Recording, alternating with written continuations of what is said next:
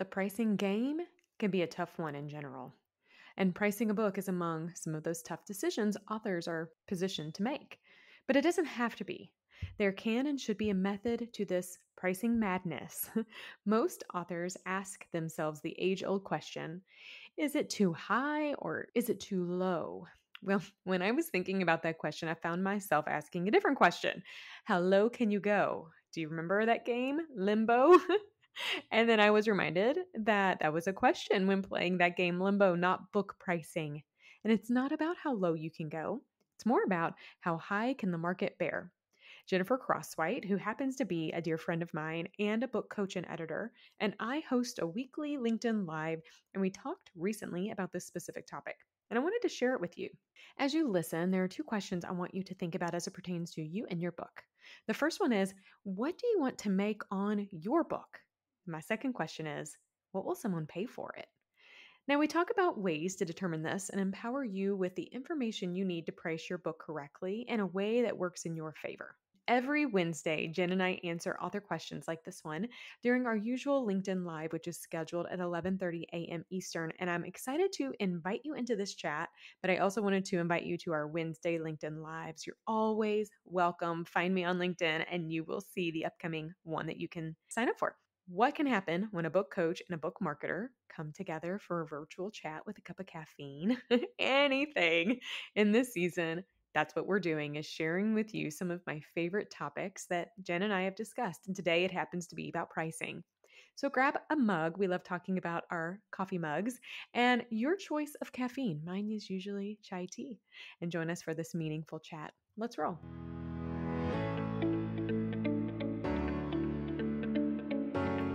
Hey, I'm Stephanie Feger, and Empower is my middle name. Okay, you got me? Not really, but I think it should be.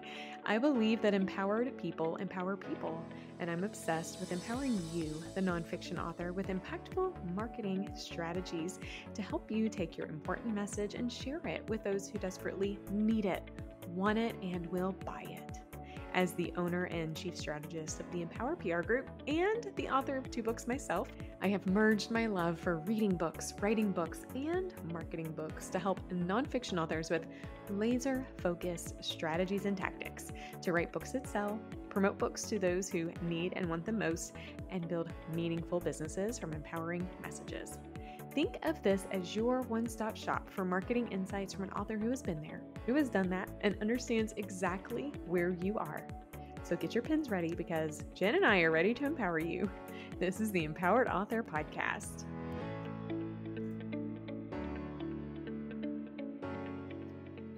Hello, hello. Hi, Jen. It's Wednesday at 11:30 It's Wednesday and 8.30 Pacific. So yes, it's time for Beyond the Page. Yay. Oh, One of my favorite parts of the week. I love it. I know. And you know, I was thinking about that this morning as I was thinking about our chat today. And I realized other things in life, like I will rearrange if need be, right? You know, I'm out of town, I can't do that. Um, I'm traveling, you know, whatever. And yet, outside of when my grandmother was passing, uh, I mean, I brought you with me. We went to Gatlinburg. We've gone to Nashville right. because I enjoy it so much. I have so yes. much fun doing this with you and chatting with you and uh, talking about all things that authors need and don't know that they need or have asked right. us, and we want yes. to unpack it. So, yeah. anyways, I'm really pumped to be here today, and I'm also really pumped because I have a new mug I have to show you. Okay, can't wait to see. you ready? You ready? Yeah. So I went last week. I went a whole week with no caffeine. Remember, I think I had water in my yes, mug. yes. This week, I think I've had like two teas, counting today. So we'll take it. But mm. over the weekend, was last weekend Mother's Day? Hold on, no, two, two weekends ago. Two, two weeks ago. During Mother's Day, my kids took me on a um on a experiential day because that's what we do Aww. for their birthdays. Yeah. And so I didn't fun. have any inclination of what we were doing, but we went to one of my favorite restaurants and there was a big wait. So mm. we um it was connected to a place. It's called Louisville Stoneware. So if you come to Louisville, we should mm. do this together. Yes. It yes. is a place that makes pottery and they and we, we oh. made three mugs. We made one for me, or they made one for me. Um, one of my other kids made one for my mother-in-law and then i made one for my mm. mom. Of course the funny part is is the handle fell off on the one that i made for my mom. So, anyways this is my mug today. My kids oh look at that. I love that. Happy faces. These are flowers. Oh, that's uh, so awesome. I know and the inside's even colored. Oh that's the best I know. And I said every year now I want a different mug and we'll be able to see their artistic yes. over time. Oh, how fun. When my kids were little, we did um, just you could get just the plain white mugs and do the paint pins that you baked in the oven. And so they did that for their grandparents one year, you know, and they were very young, like, you know, two and mm. five or something like that. So a lot of them are kind of scribbles. But my dad is famous for hating coffee. And so they wrote on his mug, "No coffee." Oh my still gosh. has it. I was gonna say, in their cupboard. Yes, that is awesome.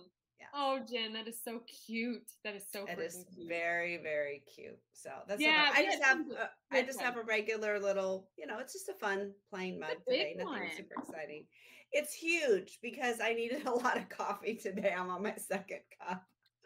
it looks like one that you can actually put or make soup in you could put soup, you know, or it would be good for a chai, you know, all that kind of good yeah. stuff. Yes, it's a nice size.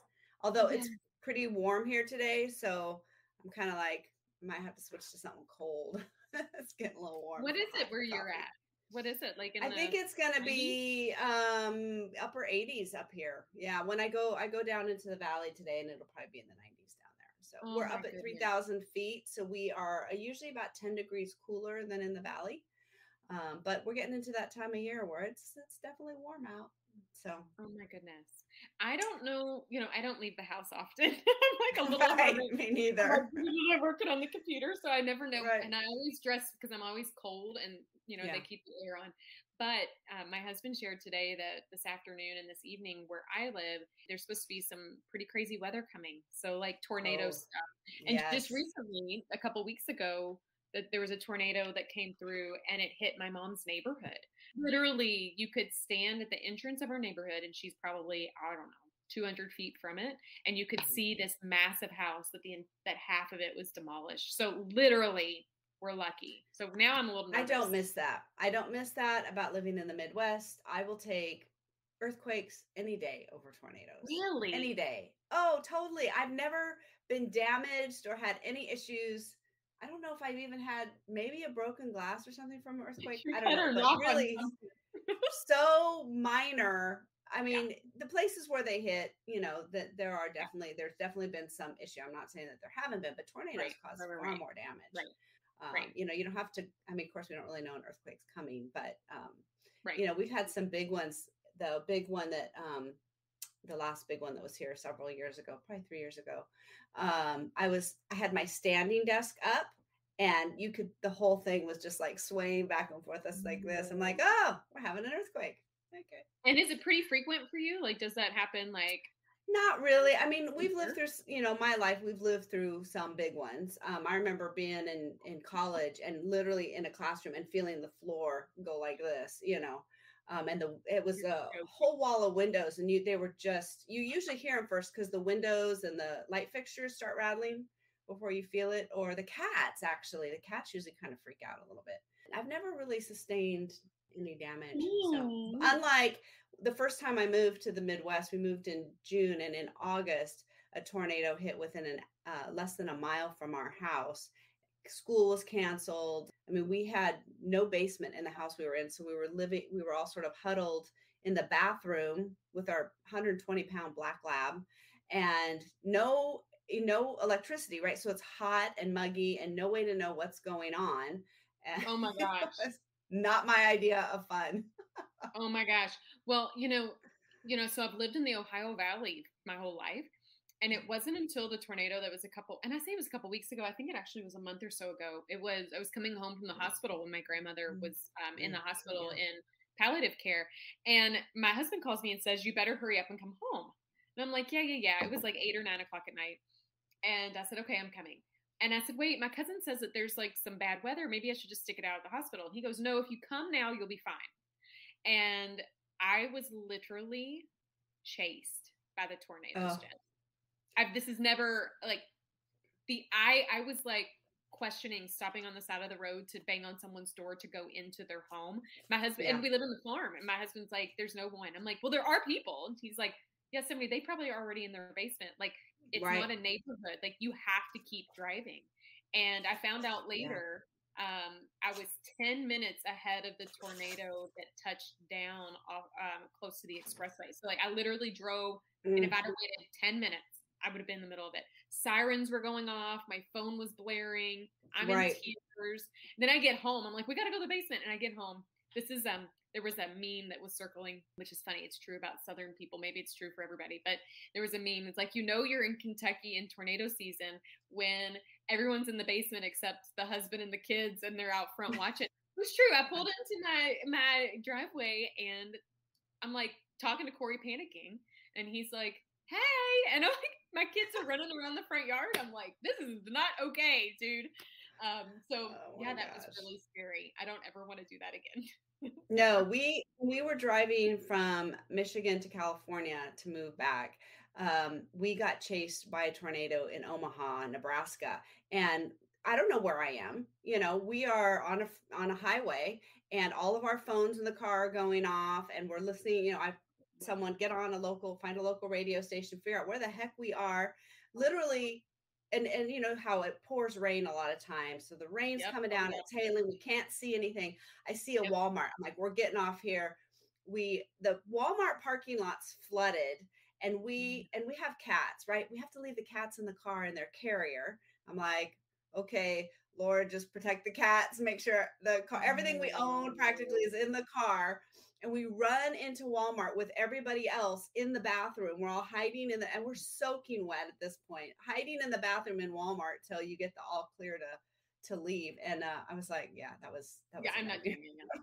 I don't want to do that again. Do again. Hey, I'm just curious. We've got some people that are watching. Um, anyone that is watching live or later, I, we want to. I want to know: Have you had a you know traumatic tornado or or, or I was gonna say hurricane. We could add hurricane or earthquake experience, natural disaster, and this is the kind of thing that feeds your writing too, right? I mean, you take those emotions, you take those, even if you don't use the exact experience.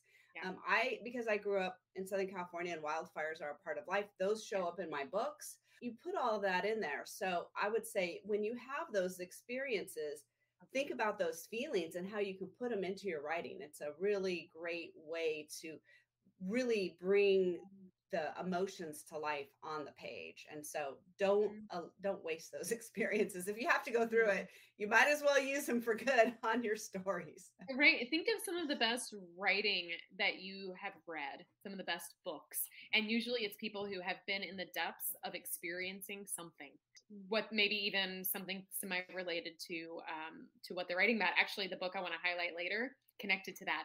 But I also was going to make a joke and say we should we should capture all these stories and create an, an uh, anthology around right yes around, um, disaster yes. experiences across Disasters. the world. Well, today we are not here to talk about any of that, but I always love chatting too.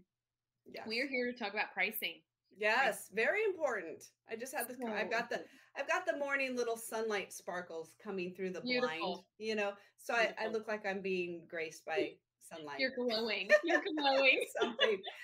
Um, yes, I just literally had this pricing conversation with a client the other day, and it's so important to think about where you are in your writing journey, your career, what your goals are uh, what you might do for a beginning writer with a debut book would be a lot different than what you do with an established writer. And so, those are all things to consider when you're thinking about where you want to price your book. And we're also talking ebook different than print. Obviously, those are different, and what you might want to do with that. So, those are that's a great discussion to have. It is, and I, and as with most things related to the book publishing and marketing and writing journey, there's not a right, wrong, or indifferent. It's unique right. to your custom needs. There's also so much more and so many more layers to the process, yes. which is why you and I hop on weekly and talk about these topics because yep. uh, experience firsthand, you got you and I have learned. But in collaborating and helping other authors, these are these are not things you should take for granted. Oh, I'll just put up for twelve bucks or oh, right. $20, right? Like there is a, a strategy around that. And I have three kind of points that I think would be make sense for us to touch on. Of course, yes, add, and build build from it. But let's say you have a book written and it's you're ready to publish it. Now, keep in mind a couple things. Number one, book price can also be dictated by your book length. Uh, yes. And also by if your book is in color or black and white in the interior. Right. If you're self publishing, these are things you'll want to think about. If you are leveraging a publisher, they will obviously be on hand to help you. But I know in if you leverage KDP, for instance, based on their specific requirements to actually manufacture the book, yes, there will be a minimum right? Yeah. But you want to take a look and realize like what is what are the margins and what are your yeah. royalties? And and one way, Jen, that I usually encourage people to to begin is look at your competition. Like who out yes, there is absolutely right? Yes, you need to be. Mm-hmm. Yeah, you need to be there. If you are too high, people are going to dismiss you. If you are too yep. low, they may not take you seriously. So it's really important to try to be in that sweet spot where your competition is. That's a great place to start. Um, and then you might think about doing some price specials or some things like that for different times things you want to do marketing or launches or things like that but definitely start thinking about your base price what your competition is doing yeah i mean i i think looking at competition is just good for everything it's good for you to look at your competition for covers and even uncovering keywords that might be within their uh, Amazon descriptions, right? That helps yes. you with doing some searches yes. because they are, it's like beta, beta data for it. Beta yes. data. It's data. I like it. For you to be able to mine. yes. And if you, and when you're looking at your competition, I also want you to not just uh, search and find a book that's similar to yours, maybe in the same category or space, but evaluate how many reviews do they have and how mm-hmm. many stars have they gotten. That will right. also let you know you might there's so much information that can be found in reviews. There's so much there for you to uncover. And it will also let you know what the market will bear. I think that there is definitely something that you should, you know, reflect upon is what do you want to make, but what will someone um, what will someone pay for right and and also think about that if, when you go to buy a book so i mean jen i don't know about you this is kind of silly as a marketer i know how this works it's silly to right Right. But if you put a book up for $15, I am less likely to buy it than if you put it up for $14.95. That is a it's, there's, strategy. There, yes, there is a psychology of pricing. And I listened to someone one time talk about this, and, and I'm sure you can Google and find it, but there's some the way we look at numbers yeah. we have certain emotional attachments to different numbers. Why does seven work better than six? It has to do literally with how the number faces on the page and our psychology around that. It's really, really fascinating. Um, you might sell more books at seven ninety nine than six ninety nine. Mm-hmm. Weirdly enough, you might. Mm-hmm. Um, and so there's just a weird, there's some weird psychology around how we look at numbers. And there's a certain reason why. I mean, if you walk through Walmart or Costco and you notice how they have things priced, there's certain pricing that look odd right? They're like 267. You know, oh, that might mean that it's a discounted price. It's not a normal price. So we get trained to look at odd numbers in certain ways just by our normal shopping experiences. So, mm-hmm. yeah, do you want to stand out? Yeah. Yes or no, right? There's times you might want to do that. Um, there's times it might just make you look like, wow, you don't really know what you're doing. Um, so, you know, you have to think right. about that for sure. Right. And I um I I don't know also if your brain works this way, but I think in like $5 increment chunks. And right. probably that's how other people are searching as well. So for instance, yeah. if you want if you are pricing your book at 22 $23, just know the people who would have paid 20 will likely not go up two or three dollars. Like it's just yeah. it's the psychology but the people who would be willing to invest 25 well that's a bargain. Um, right. so you want to think too about your target reader and what yes. will they what will what is a no-brainer value price where you yes. benefit and they benefit right um, that's so true yeah it's i think it also you know outside of you know uh, what i love about kdp is that there's a calculator you can play around with on the back end yes. and figure mm-hmm. out what's your margin and what have you but outside of how many pages are in your book uh, outside of if it's color or not or hardback or whatever. I also want you to consider what are you giving in the book? Is it, yes. you know, so for instance, I think a memoir doesn't provide the opportunity for as as high of a cost unless you are like a high well-known um, person right. as a business book will, right? Because people yes. are more likely to invest $25 in a business book that maybe no more than like you know, my book, my memoir is sixteen ninety five on purpose. Side note, Jen, my workbook is also sixteen ninety five, and I went on Amazon today. This is a good yeah. tip for people listening. Went on Amazon today while I was um, on a client call and was using my book as an example, and yeah. Amazon discounted my book ten dollars right now. Ah, this is the other thing. This is a good thing. When Am- when yes. you go to Amazon, your book is discounted. You as the author are not losing money. Amazon is nope. taking a cut from their side because yeah there is a reason. Maybe there's some yeah. search searching going on around the topic, whatever. So so for instance, right now my workbook is six ninety five or something like that, which normally it's sixteen ninety five. That's exciting, and it gives That's me something great. to be to market. Yeah, I'll be posting yeah. about that on Facebook and social media and LinkedIn. Wouldn't today. it be uh, nice if they let you know when they do that? they don't. I they know don't. you have to just stumble across it. It's very frustrating. Yes. Well, maybe maybe that's um you know, you and I have been doing a lot of conversations around um, around productivity and business support and what have you. Maybe part of your weekly drumbeat for as an author should be like every Monday, take a look at your Amazon account, look at reviews, and take a peek on to see if they've given you a discount. Because usually it would be for like a week time frame or so. Right. Um, and you should, I mean, regularly check your pages do you need to update your description look at your metadata? You definitely uh, publishing a book and putting it up there it's not a set it and forget it type thing for sure.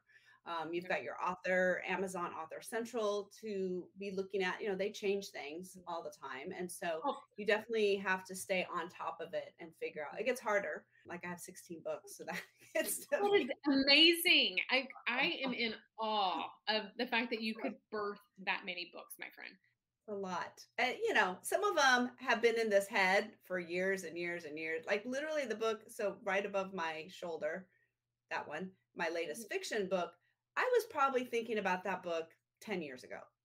Really? So they they sit in there. Um, Becca Syme, she's a productivity coach for writers. She uses the Gallup strength, and she calls that bread machine writers. Like it just needs to sit and mm-hmm. knead and develop and bake. And that is like my process. I call it the compost pile because I think it's mm. like you throw in all these different scraps and then over time it converts into something different. Um, yep. So, anyway, well, that happens long- over here on in for me in the nonfiction world too. I think yes. I have like three manuscripts that are in the works, and I will like start it and I'll get really passionate about it, and then I stop. And I'm like, oh, well, obviously, I've not experienced something that I need to connect the dots. Yes. And um, and I, you know, I know you and I are both um, Christian women, so I can share this with you and share it with our with our reader or our watchers today, our attendees. Um, but I also am a believer in like kind of some divine inspiration. So yes. I when when when God's ready for me to write, I write. Yes, it like that. when it's supposed to. Yeah. yeah. yeah. When you feel it, Jen, like I'm, I have to tell yes. people, I'm sorry, I can't talk to you right now. I got to get it out um, book number two, I wrote in an entire day because of that, mm-hmm. like literally. Yeah. So I um, have become very, um, very accustomed to that. And so when writer's block happens, it's no fun. And then I call you and you help me. Um, That's right. so back right. So back to the pricing. Um, I would say, you know, definitely be thinking about what your competition what your competition yeah. is doing. I find that many people, it's easy for them to purchase a book under 20 bucks. Like that is a yeah. pretty common thing. Yeah. Um, usually on the ebook, and I'd love your thoughts, Jen, but on the ebook, it's usually about $10 cheaper. That's what yeah. kind of my rule of thumb mm-hmm. has been. Um, and if you do that, it allows you to give yourself, if you're a self published author or if you want to do some marketing with your publishing company, um, it allows you to give flexibility if you want to do like Kindle countdowns, if you're exclusive to KDP, or yes. you want to do some additional right. solutions, right? Yes. And, and that value, you know, when you go to the product page, it shows the Kindle and the paperback and their prices side by side. So for yep. a lot of people, they will see, oh my gosh, the Kindle's like $10 cheaper. Mm-hmm. That's a no brainer, right? That feels like a deal. And yeah. so I always tell people put out both, put out the print and the paper mm-hmm. and the ebook even if all you're thinking you're going to sell is ebook, because that compare price comparison right there is going to get a lot of people feeling like they're getting a bargain. And so it's definitely, again, it's that psychology of pricing. It's definitely worthwhile having it. And obviously, that's a starting point because you want to see what your competition is doing, mm-hmm. what kind of book you're putting out, all those different, there's all those variables that go into it. Um, but I think you mentioned something really interesting, which is the Kindle Countdown. Um, and I think it's great to, to talk a little bit about pricing for launches and like sales. And what is your thoughts? This is your Ballywick. I would love to hear your thoughts about how you like to price for launches and for special promotions. You might not like my answer, but I'm going to tell you it to you. I do not believe in doing paperback discounts uh, online. I just don't. No, I don't. And I actually would not encourage you to do a do a lower price at a launch for paperback because it's easier to go down later than it is to go up. So yes. I would encourage you when you're launching the paperback version for you to consider what is the what what price point are you comfortable with and in the future if people are not converting to purchasing you can always go down but i would not want you to go the other way unless things in your life have shifted i'm working with an author right now who mm. has become a global phenomenon and it makes sense for her book to be more expensive now absolutely right. the market Absolutely. will do that um, yeah. So paperback, I think you know, stick with a good price you're comfortable with. You can change yeah. it. I would recommend staying there. On the ebook, I see a lot of people do 99 cent ebooks during the pre-order. That helps you mm-hmm. really kind of pull yeah. in people and get interest early on. Yeah. Most people who are book lovers and that are supporting you in the launch will likely want a hard copy too right? Like yes, you know, look, both of us, you can't see mine today, but we both have bookshelves. Like if I know right. the author, if I love the author, I want them in my bookshelf. I want the hard, yeah. Yeah, especially nonfiction. I rarely buy nonfiction as digital. It's just not as easy. I like to mark up my books and stuff, and just not as easy to do that. Refer to it digitally. My to be read pile. I mean, I literally have a stack of books here, and they're. I mean, they're all paperback. Now, fiction you know fiction is more can be more of an impulse buy and Absolutely. so especially i you know i subscribe to ku and you know it's very easy you get to the end of the book and you just click the button for the next book in the series Absolutely. that's very easy to do you know Absolutely. most fiction it, ebooks are 399 499 mm-hmm. sometimes you see 599 i mean that's a starbucks cup of coffee right exactly. so it, it's a pretty yeah it's a pretty easy impulse buy and i rarely go back to fiction and reread it. I just have way too many books. But with nonfiction, yes, I want to pull that out. I want to share it. I want to talk to somebody and, oh, what was that quote that person said that I highlighted? And so I think that is the difference, especially between nonfiction and fiction. A lot more people are going to buy a paperback version of your nonfiction. Although I do sell quite a bit of paperback. There's a lot of people really do just like holding a book and like reading it. The experience it's definitely a sensory experience when you're reading a book. Physically an ebook you just don't get quite the same thing but the ebook is you know you can make the screen as big as you want you can read in bed without disturbing anybody with the backlit screen. So you know there's pros and cons to all of it and some of this is knowing your target audience and what they're going to be looking for and what they want i pull my readers i try to pull them like once a year to see what they oh, like oh, what? and what they're uh-huh. looking for. Like ask them. Just ask them. What do you Just want? Do you them. like do you like print books? Do you like ebooks? What are your favorites? Where do you buy your books? Are you in Kindle Unlimited? What are your favorite price points for books? What do you usually pay for a book? All those kinds of yeah. things because everybody's audience is going to be a little bit different and so you want to give your audience you know within obviously within reason i mean they would all love free books all the time but we have to make a living yeah, absolutely. You deserve it because it's a it's right. your skill set that you're bringing to the table. There's something I did want to share about if you do like a Kindle countdown, uh, yes. which could be a one day discount or a multiple day discount that right. counts down or counts up. Mm-hmm. My recommendation there is if you're going to do it, don't just do it and forget about it. Have it be a part right. of a, a yes, a um, big campaign. Yes, yeah. I mean, how are you talking about it on social? How are you engaging yeah. around it? Why are you doing it? Usually yes. it's a trigger that helps you maybe hit new category bestsellers on yeah. Amazon. There are also a lot of a lot of readers who will only buy free or discounted books. And that's okay. We know that about them.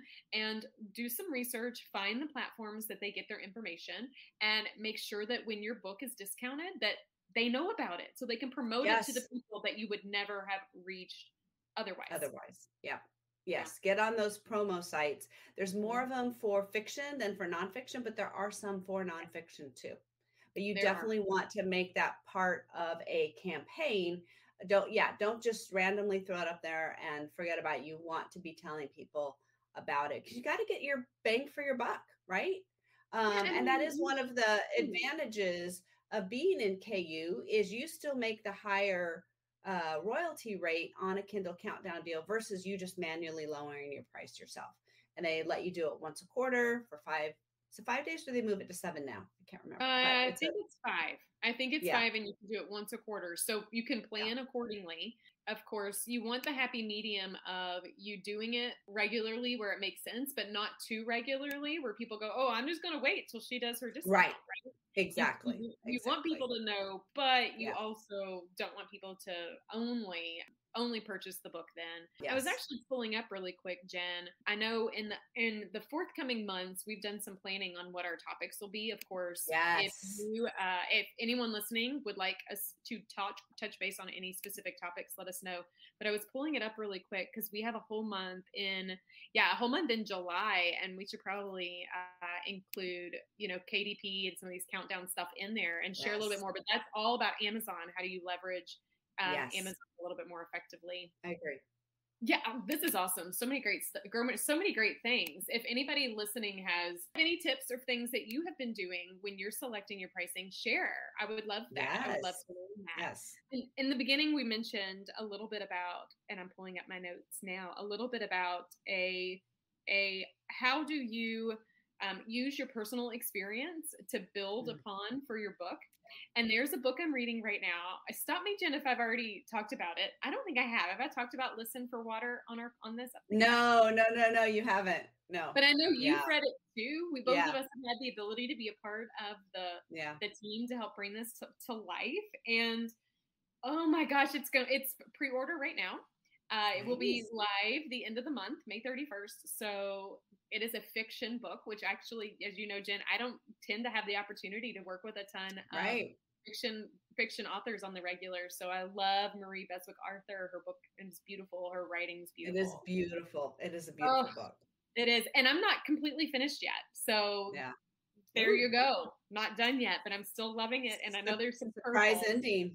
There's a I know, I know, I know. That's what I love about it. But high level on the book, it is about a, a very unconventional mother daughter duo who find mm-hmm. themselves in a in the middle of nowhere in an unexpected way, and they have to learn how to survive. They have a really awkward and uncomfortable relationship, and they are pushed yes. in a situation to to learn things about themselves and about one another and about their relationship through the journey in the book or while they're in this situation they uncover a a survival guide and they use it every day i mean they're living in like the wilderness they use it yeah. every day to to get some inspiration they don't even have it's called listen for water there's so many contextual reasons for it but they don't yeah. even have quick access it takes them several days to actually find water but yeah. day two um, in this process and in them uncovering kind of uh, what this survival guide is it says the the goal for surviving day two when you find yourself in an awkward and weird situation like this is this list five things for which you are grateful.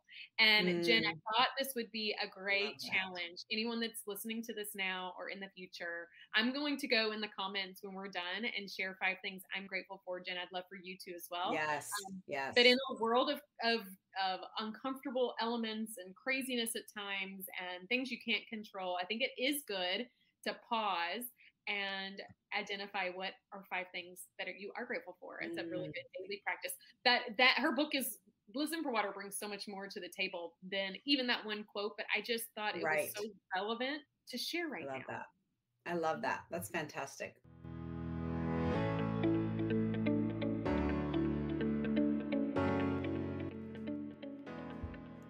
Some parts of pricing are more permanent and unable to be easily adapted. For instance, your book page count, or if you choose to have a color interior or not, maybe the type of book you're producing, whether it's hardback, ebook, or paperback, that can dictate a minimum purchase price because you have to manufacture the book.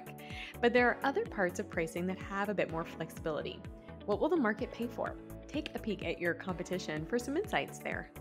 Pricing your book is a marketing strategy, and you should keep in mind your target audience while determining your pricing. My dad always tells the story. He is a used car salesman, a good one, mind you, and he talks a lot about how sometimes when he prices his used cars at a certain price point, he doesn't get any bites. And when he goes up a little bit more, weirdly enough, they the bites don't stop coming. This is perceived value, and I do think if you price your book too low, there's this perceived lack of value. So we don't want you to go that route either. If you'd like some assistance in determining your pricing approach or how to price discount and leverage that as a marketing tactic, well, let's chat. Visit empowerprgroup.com slash marketing strategy session and learn more about our one hour strategy sessions that can help you get that information.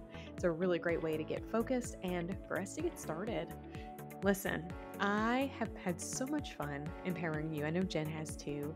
We really want to help you embark on making your author impact. So remember, empowered people empower people. We've empowered you, and it's been so much fun. And now it is your turn to empower others.